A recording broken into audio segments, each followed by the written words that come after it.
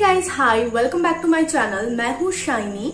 आज मैं आप लोगों के साथ शेयर करने वाली हूँ premature skin ageing wrinkles fine lines saggy face skin और हम लोग इन प्रॉब्लम्स को कैसे डील कर सकते हैं, कैसे कोलाजन इस्तेमाल करके इन सारे प्रॉब्लम्स का सोल्यूशन हम लोग निकाल सकते हैं। क्या कोलाजन कंज्यूम करना नेसेसरी है?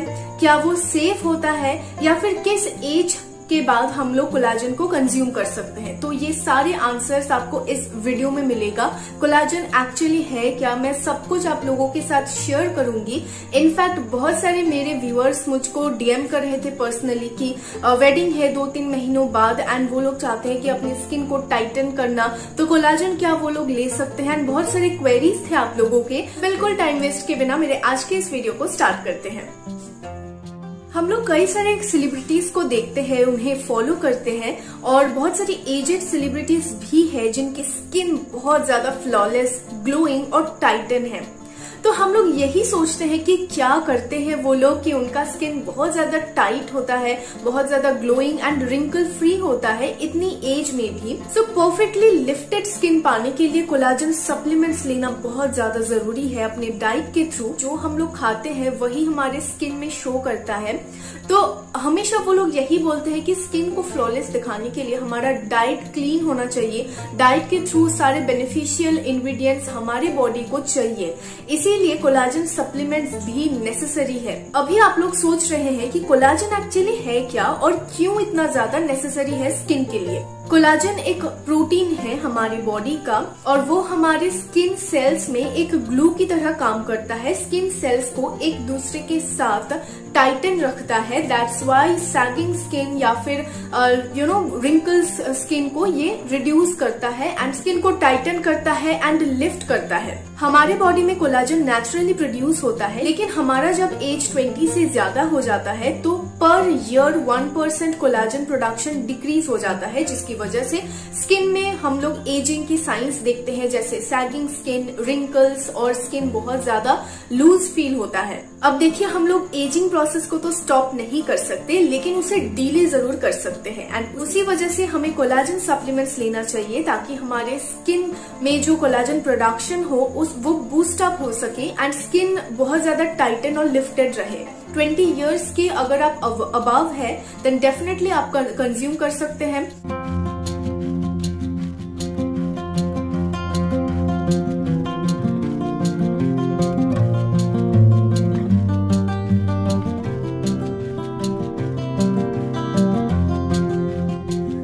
Prevention is always better than cure हमें कोलाजन सप्लीमेंट्स 20 इयर्स के बाद से ही लेना स्टार्ट करना है, क्योंकि ये एक डिलीशियस और एक हेल्दी और कन्वीनियंट वे है स्किन एजिंग रिंकल्स को नेचुरली डिले करने का। और भी कई सारे बेनिफिट्स हैं, जैसे स्किन हाइड्रेशन प्रोवाइड करता है स्किन को नरिशमेंट प्रोवाइड करता है फुल बॉडी रेडियंस के लिए भी बहुत अच्छा है। यह है बेरी ऑरेंज फ्लेवर में टैंगी सा टेस्ट है इसका। इसके अंदर एग्जॉटिक इंग्रेडिएंट्स का ब्लेंड है, जैसे acai berry sea buckthorn sesbania agati bamboo shoot etcetera collagen builder में eight anti ageing ten pro collagen super foods and three standardised whole food vitamin extracts है, जो कोलाजन सिंथेसिस को naturally boost करता है. Rose petals में antioxidants है, जो glowing skin promote करता है. एसेरोला चेरी में विटामिन सी है.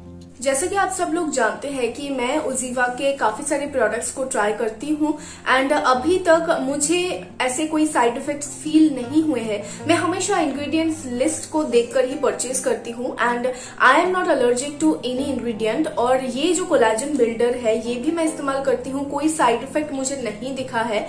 लेकिन इसमें काफ़ी सारे ऐसे नेचुरल इंग्रेडिएंट्स है तो आप पहले इंग्रेडिएंट्स लिस्ट को देख सकते हैं। कई बार ऐसा होता है कि कोई इंग्रेडिएंट आपके बॉडी को सूट नहीं किया। दैट्स वाई कोई एलर्जिक रिएक्शन भी हो सकता है।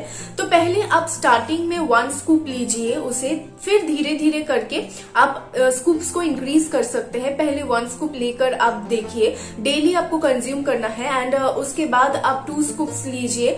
सो so, इससे क्या होगा कि कोई प्रॉब्लम नहीं होगी और आपकी बॉडी भी धीरे धीरे सूट करेगी इस प्रोडक्ट से। मैं एक नॉन वेजिटेरियन हूँ मैं नॉन वेज खाती हूँ और मुझे लगता है कि जब भी मैं कोई सप्लीमेंट ले रही हूँ तो मुझे ये जो नॉन वेज का बैलेंस है वो मुझे मेंटेन करना है। सो so, मैं कोई ऐसा सप्लीमेंट uh, नहीं लेना चाहती जो फिर से नॉन वेज हो क्योंकि ऑलरेडी मैं नॉन वेज लेती हूँ। सो सप्लीमेंट्स के थ्रू मैं उसे फिर से इंटेक नहीं करना चाहती। मैं कुछ प्लांट बेस्ड चाहती हूँ and that's why I went for Uzeeva और मैं हमेशा उजीवा के प्रोडक्ट्स ही सिलेक्ट करती हूँ क्योंकि उससे मुझे प्लांट बेस्ड uh, मुझे इंग्रेडिएंट्स मिलते हैं एंड मुझे फिर से नॉन वेज सप्लीमेंट्स के थ्रू भी नहीं लेना पड़ता है। तो मेरे ख्याल से अगर आप इंग्रेडिएंट्स लिस्ट देखकर परचेस कर रहे हैं एंड धीरे धीरे इसका जो इनटेक का क्वांटिटी है वो धीरे धीरे इंक्रीज कर रहे हैं देन डेफिनेटली ये बहुत ही सेफ़ है यूज़ करना।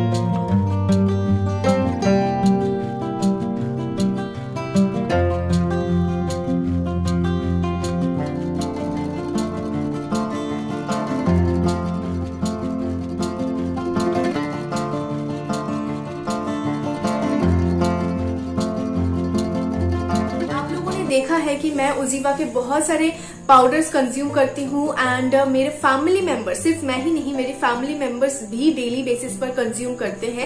एंड uh, इसी वजह से मैंने कोलाजन सप्लीमेंट्स लेना स्टार्ट किया है क्योंकि मैं 20 इयर्स के अबव हूँ एंड मुझे लगता है कि मेरी स्किन हमेशा टाइटन रहे यंगर लुकिंग रहे आई वॉन्ट दैट एंड जब से मैंने इसे कंज्यूम करना स्टार्ट किया है मैंने एक डिफरेंस भी नोटिस कर रही हूँ क्योंकि स्किन बहुत ज़्यादा टाइटन फील हो रही है बहुत ज़्यादा यू नो फ्लॉलेस और ग्लोइंग दिख रही है मुझे on camera and off camera भी। मार्केट में बहुत सारे कोलाजन सप्लीमेंट्स आपको मिलेंगे, लेकिन एनिमल डिराइव्ड बेसिकली होते हैं जो मुझे बिल्कुल भी नहीं चाहिए था, क्योंकि एनिमल डिराइव्ड कोलाजन में बहुत सारे साइड इफेक्ट्स भी होते हैं। जैसे कि डाइजेस्टिव प्रॉब्लम्स हो सकती है heart burns and uneasy feel होता है।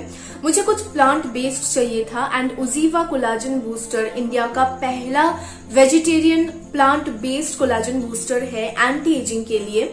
सेकेंड पॉइंट इज़ दैट इसका टेस्ट मुझे काफ़ी ज़्यादा पसंद है एंड ये हमारे बॉडी का जो कोलाजन प्रोडक्शन है, उसको बूस्ट करता है नेचुरली ऑल्सो आप इसे डेली कंज्यूम कर सकते हैं। आपको टू स्कूप्स 200 हंड्रेड वाटर में मिक्स करके लेना है। आप चाहे तो नॉर्मल वाटर ले सकते हैं। आप चाहे तो वार्म वाटर भी इस्तेमाल कर सकते हैं। लेकिन आप इसे एम स्टमक पर मतलब खाली पेट पर कंज्यूम बिल्कुल भी ना करें या फिर रात को सोने से पहले भी कंज्यूम ना करें। मैं पर्सनली इसे लंच के एक घंटा बाद कंज्यूम करना पसंद करती हूँ एंड मैं आप लोगों को वही सजेस्ट करूँगी। क्योंकि उस टाइम जो स्टमक है, वो बिल्कुल भी एम भी नहीं रहता और बहुत ज़्यादा फुल भी नहीं रहता तो मेरे ख्याल से वो सही टाइम है कंज्यूम करना। आप चाहे तो ब्रेकफास्ट के एक घंटा बाद भी इसे कंज्यूम कर सकते हैं। अगर आप इस कोलाजन सप्लीमेंट को परचेज करना चाहते हैं तो जो लिंक है वो मैंने डिस्क्रिप्शन बॉक्स पर प्रोवाइड किया है do check it out and so guys that's it for today's video I hope this video was helpful for you all ये वीडियो पसंद आए तो वीडियो को लाइक कीजिए शेयर कीजिए and don't forget to subscribe to my channel आज के लिए इतना ही. Stay bless stay happy bye